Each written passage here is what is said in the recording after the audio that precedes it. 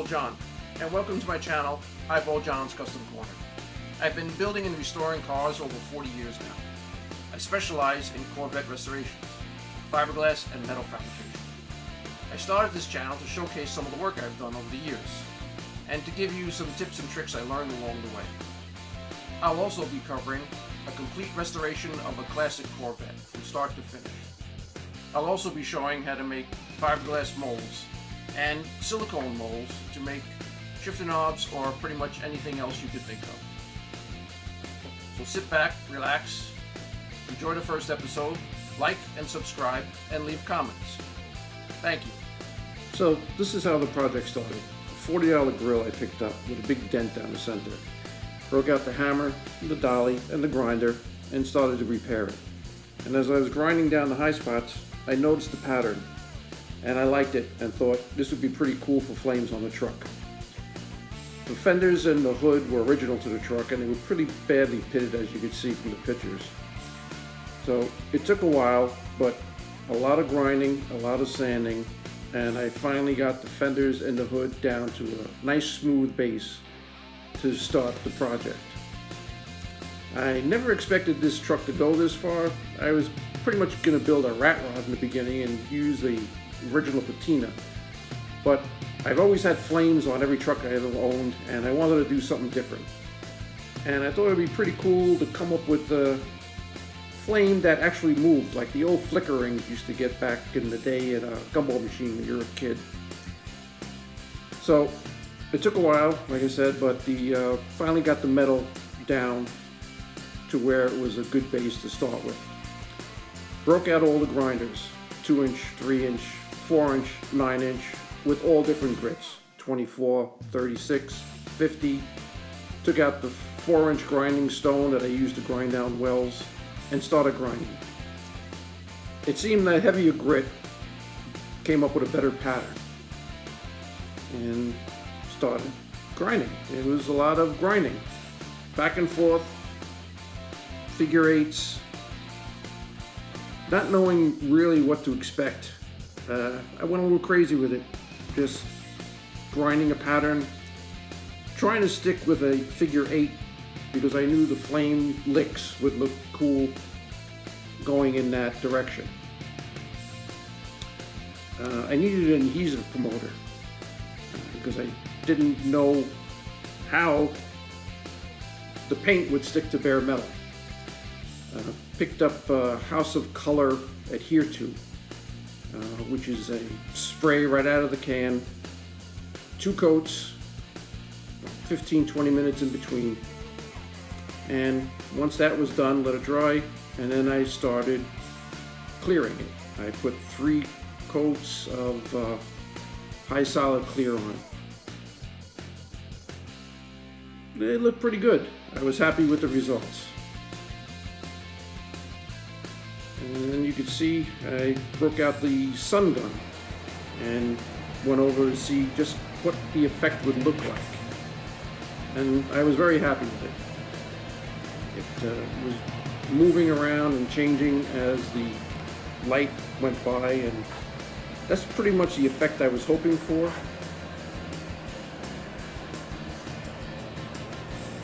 I know this video is long, but bear with me. It's worth it. So going back and forth with the sun gun, looking at the different patterns. Well, then was time to sand. I started out, I think, with 800 wet, went down to a thousand, and tried to get out as much of the grinding pattern so I'd have a nice smooth surface to lay the flames out on. Took a few days, but I finally got it all smoothed out. Then came the best part, I think, of laying on the flames. Uh, drew up a few things of patterns that I wanted to use till I got what I thought was the perfect flame pattern for this truck. And I used a new tape that I found, uh, FBS, uh, I think is the name of it, quarter inch fine line tape and the tape was fantastic. No matter how many times I laid it down and pulled it up, it still stuck like it was brand new. So if anybody's ever done flames, you know you're never always you're never happy with the pattern that you pick. You keep going over it and over it to try and get the best look. Well, I finally got it to where I was very happy with it. And all the licks were done.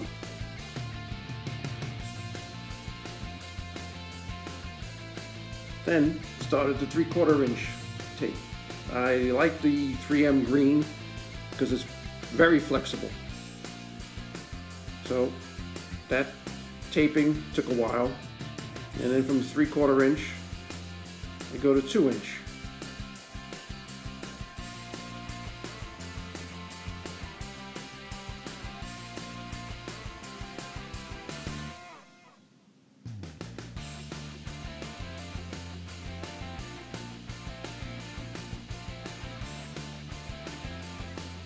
Two inches done. Pretty much the whole truck. I don't know how many rolls I went through. I don't even like to think about it, how much it cost in tape, but it was worth it.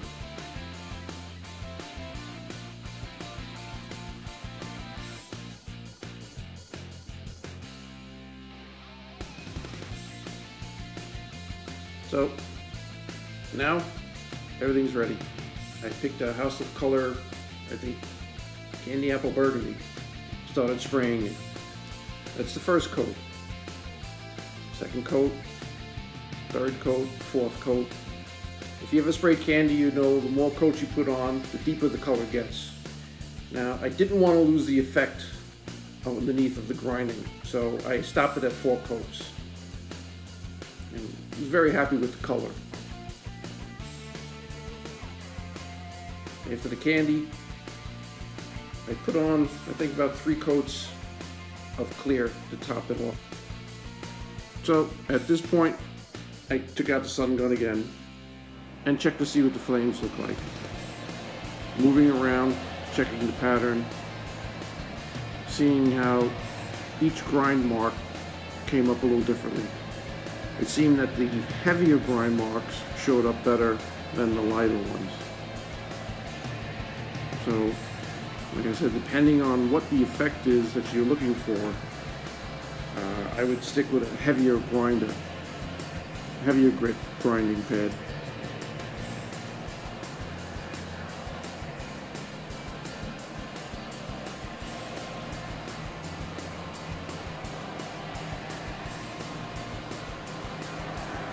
At this point, the tape is ready to come off. And for the first time, I got to see the red against the rest of the truck, which was bad metal, and actually looked silver, which was a nice effect, but I couldn't leave it like that because the rest of the truck had to be painted. So I had to start taping up, reverse taping of the flames. Again, starting with the quarter inch fine line tape, going to the three quarter inch uh, tape, and then into the two inch tape. Uh, I would suggest always having an X-Acto knife with you because it always comes in handy. Finally, the flames were covered and protected.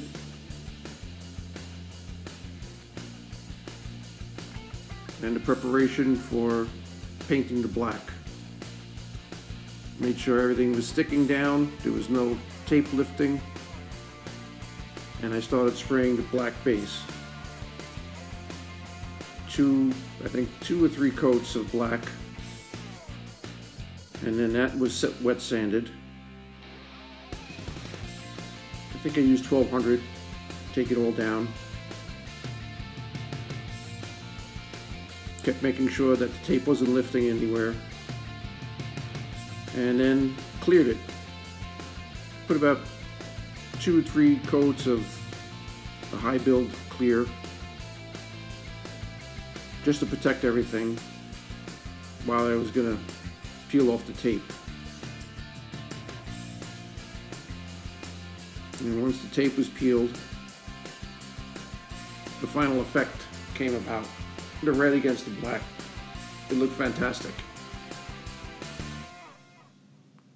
The original quarter inch fine line tape was left on and was actually used as a pinstripe effect. So the whole flame had a quarter inch of bare metal showing through. I was very happy with the effect that it had.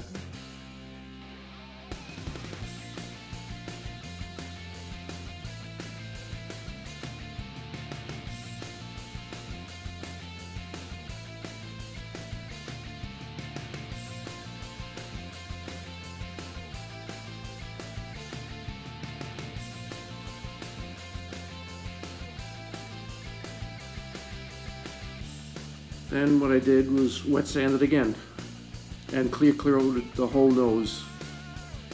Another two, two, three coats of the Hydro Clear.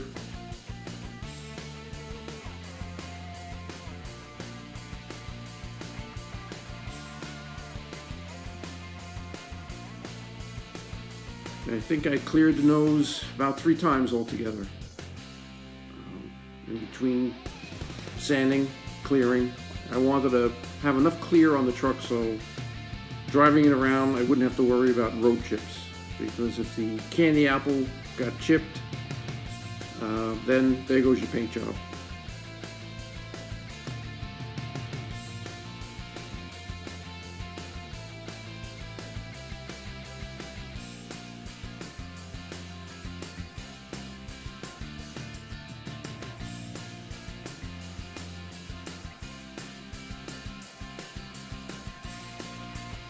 I this was the final clear coat that was put on. And once again, going around checking with the sun gun and actually for the first time, really getting to see the effect of the grinded flames against the black.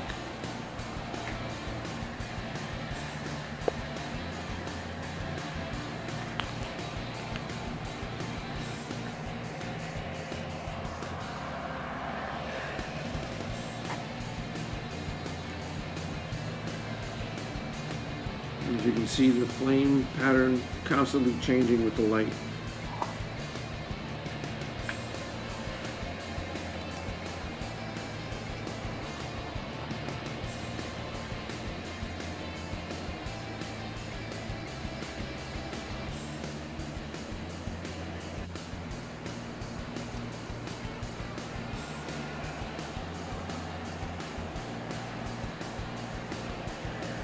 The flames seem to move as you go around with the light.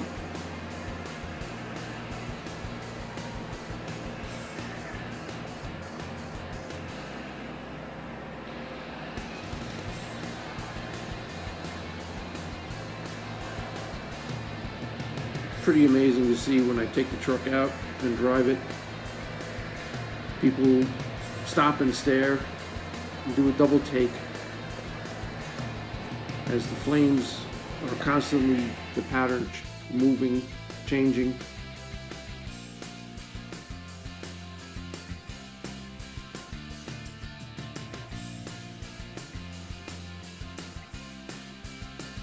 Final assembly, wet sanding, polishing,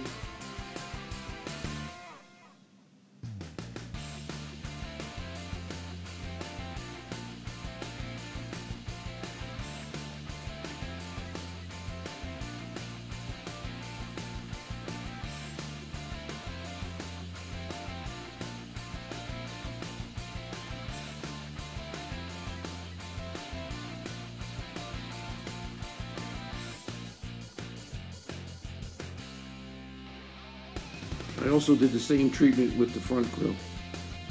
Grinding it, clearing it. I wanted something different. Didn't want to put a chrome grill, didn't want to put a painted grill.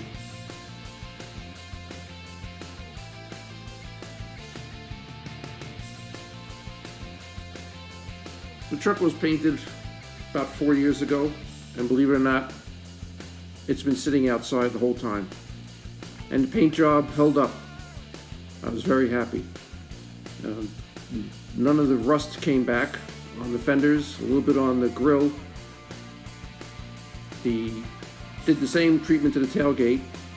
That was brand new sheet metal, which rusted right away. But I like the effect it had. Here the truck is done with a new set of rims and tires, which totally changed the look of the truck.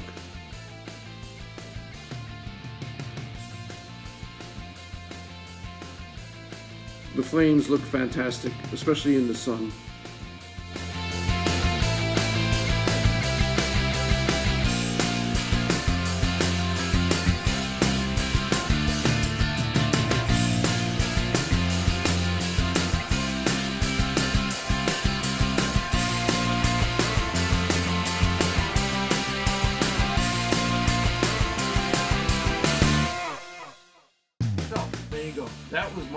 Process of doing the flames on my 47 Chevy. Now, you ask 20 people how to do something, you're going to get 20 different answers. But I like to call that, it worked for me. I'm old school, because I'm old. But my methods have served me over the last 40 years. And hopefully I'll pass something on to you, and you can take that and add it to something else that you've seen and make it your own. Everybody has their own way of doing it. This is just one of them. So I hope you enjoyed it and like and subscribe and ask some questions and I'll hopefully should be able to get back to you. Thank you.